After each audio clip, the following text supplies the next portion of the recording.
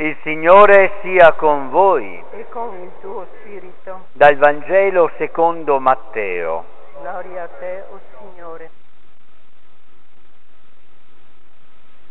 Nato Gesù a Betlemme di Giudea al tempo del re Erode, ecco, alcuni magi vennero da Oriente a Gerusalemme e dicevano, dov'è colui che è nato il re dei Giudei? Abbiamo visto spuntare la sua stella e siamo venuti ad adorarlo. All'udire questo il re Erode restò turbato e con lui tutta Gerusalemme. Riuniti tutti i capi dei sacerdoti e gli scribi del popolo, si informava da loro sul luogo in cui doveva nascere il Cristo. Gli risposero, a Betlemme di Giudea, perché così è scritto per mezzo del profeta, e tu, Betlemme, terra di Giuda, non sei davvero l'ultima delle città principali di Giuda. Da te infatti uscirà un capo che sarà il pastore del mio popolo Israele. Allora Erode, chiamati segretamente i magi, si fece dire da loro con esattezza il tempo in cui era apparsa la stella e li inviò a Betlemme dicendo andate e informatevi accuratamente sul bambino e quando l'avrete trovato fatemelo sapere perché anch'io venga ad adorarlo. Udito il re, essi partirono. Ed ecco la stella che avevano visto spuntare li precedeva, finché giunse e si fermò sopra il luogo dove si trovava il bambino. Al vedere la stella provarono una gioia grandissima. Entrati nella casa videro il bambino con sua madre si prostrarono e lo adorarono. Poi aprirono i loro scrigni e gli offrirono in dono oro, incenso e mirra. Avvertiti in sogno di non tornare da Erode, per un'altra strada fecero ritorno al loro paese. Parola del Signore. Lode a te, o Cristo. Gentilmente rimanete in piedi un attimo, perché oggi la Chiesa ci fa l'annuncio della Pasqua, abbiamo addirittura acceso il cereo pasquale. Questa festa lega direttamente con il mistero della morte e risurrezione di Gesù. Ascoltiamo allora l'annuncio della Pasqua.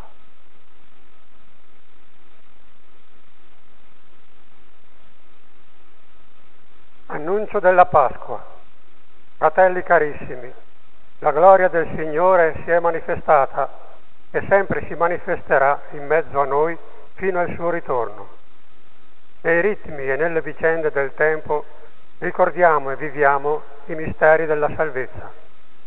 Centro di tutto l'anno liturgico è il triduo del Signore crocifisso, sepolto e risorto, e culminerà nella domenica di Pasqua il 21 aprile. In ogni domenica, Pasqua della settimana, la Santa Chiesa rende presente questo grande evento nel quale Cristo ha vinto il peccato e la morte. Dalla Pasqua scaturiscono tutti i santi giorni. Le ceneri, inizio della Quaresima, il 6 marzo. L'ascensione del Signore, il 2 giugno. La Pentecoste, il 9 giugno. La prima domenica di Avvento, il primo dicembre. Anche nelle feste della Santa Madre di Dio, degli Apostoli, dei Santi e nella commemorazione dei fedeli defunti, la Chiesa pellegrina sulla terra proclama la Pasqua del suo Signore. A Cristo, che era, che è e che viene, Signore del tempo e della storia, lode perenne nei secoli dei secoli. Amen.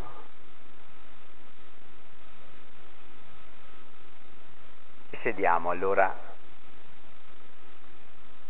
E credo che aver sentito questo annuncio ci permette anche di capire un po' più correttamente la festa che stiamo celebrando. Facciamo un piccolo eh, esercizio, usciamo dal presepio. È bello il presepio, eh? benedetto Francesco, eh? che cosa meravigliosa, quando l'ha proprio dato a tutta quanta l'umanità. Però è anche pericoloso il presepio, perché ci tiene in quel contesto lì, guardatelo, che bello, magari anche un po' di folklore. I magi ci portano invece verso noi stessi, verso l'umanità. Non è folklore questo. Pensate che i magi rappresentano tutta quanta l'umanità che si orienta, vengono dall'Oriente. Capite la parola orientarsi? Perché altrimenti corriamo il rischio di disorientarci, di perdere l'orientamento. I magi vengono e portano con sé tutta quanta l'umanità. Siamo noi i magi, sono io, sei tu, ma anche quello di là, quello di là del muro, quello di là. Ogni tanto mi vengono in mente. E i cinesi. Ogni tanto ve lo dico, sapete, no? Provate a pensare in questa parola così, no? Buttata lì. E i cinesi. Perché noi corriamo un rischio terribile, quello di dire, eh sì, noi abbiamo la verità, noi siamo gli unici, noi siamo... Dio ama tutta l'umanità, ma volete che Dio non sia padre, non sia conosciuto, non ami anche quelli al di là delle cortine, dei muri che noi abbiamo costruito, no? Oggi è la festa dell'umanità Oggi è la festa di una ricerca che c'è in giro per il mondo, la ricerca di Dio, tutti gli uomini la fanno, magari per strade sbagliate, magari per strade che non portano alla verità, non portano a Cristo, ma quanta gente. È la festa delle scaesagne. Sapete cosa sono le scaesagne, vero? Eh? Ti metti in un cammino in un sentiero e ti, ti trovi in mezzo al campo. Eh? Ma quanta gente! Oggi è la festa di tutti coloro che cercano Dio anche per strade, le più sconnesse. E sapete perché? Perché Dio ci ha già trovato. Noi cerchiamo Dio perché Lui ci ha già incontrato. Dove noi siamo, Lui viene verso di noi e si manifesta, si rivela. Ecco il senso dell'Epifania, rivelazione. Che belli allora questi magi. Tra l'altro sapete, no? Li abbiamo, guardateli lì, eh? Che abbiamo messo la corona in testa, poveretti. Sono maghi, noi abbiamo addirittura cambiato il nome, magi, per renderli un po' più poetici, gli abbiamo addirittura messo la corona in testa, ma sono i più distanti da Dio che si possano pensare. Pensate che nel primo catechismo della Chiesa, si chiama Didache, ci sono tre peccati, tra i più gravi, rubare, abortire e magia. Capite?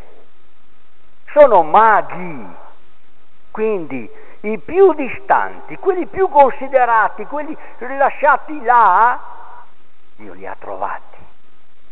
E sono stati capaci questi qua, no? Io sono capace, tu sei capace, tutta l'umanità è capace di leggere una stella. Adesso per l'amor del cielo anche qua, eh, non abbiatene a male con me ma noi andiamo a cercare la stella in cielo, vero? Ci hanno fatto delle costruzioni, la stella Halley era lì che girava nei tempi di Gesù, l'anno 12, ma va là! La stella è qualcosa di molto più serio, è dentro di me la stella, è nelle scritture la stella, nella Bibbia, è in tutti quei segni che ci sono dentro, intorno a noi, che ci portano verso un mistero, verso il mistero di Dio. Eh?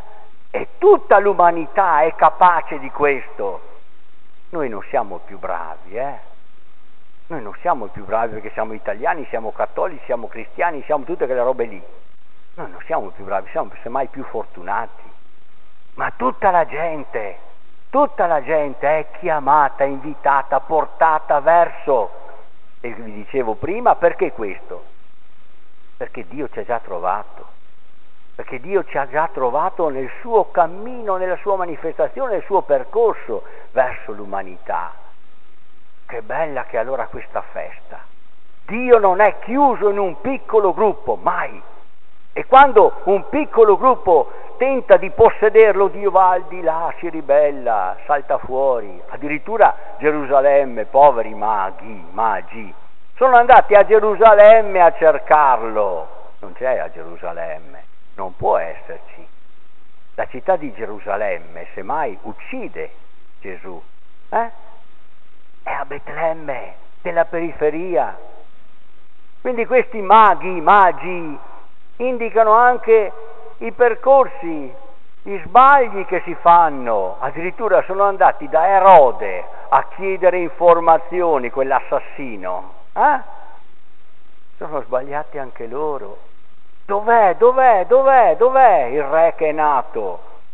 Erode, l'assassino, pensate che aveva ucciso, ha ucciso tre suoi figli perché eh, teneva tanto al suo scettro, al suo potere che pensava che i figli glielo rubassero. Li ha uccisi, tre.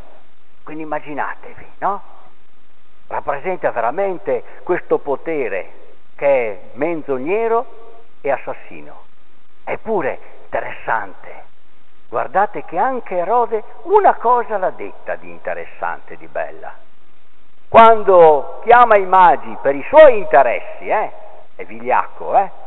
Addirittura Gesù lo chiamerà, è un altro Erode ma è ben parente, eh, dice che quella volpe là. Bene, eh, chiama i magi e dice dov'è il bambino? Andate a cercarlo. È un invito che fa a me e anche a te. Venite a dirmelo dopo. E questa parola io l'ho sentita veramente mia anche, no? Dai che andiamo a cercare questo bambino e dopo andiamo a raccontarlo, a dirlo anche agli erodi, assassini che ci sono in giro e hanno più bisogno di, di quanti, no? Dobbiamo raccontare l'incontro di questo bambino che ci cambia la storia dell'umanità, perché il mistero di Dio è per tutti, anche gli erodi, anche i potenti hanno bisogno, anche se loro pensano di non aver bisogno di Dio e si addirittura mettono al posto di Dio.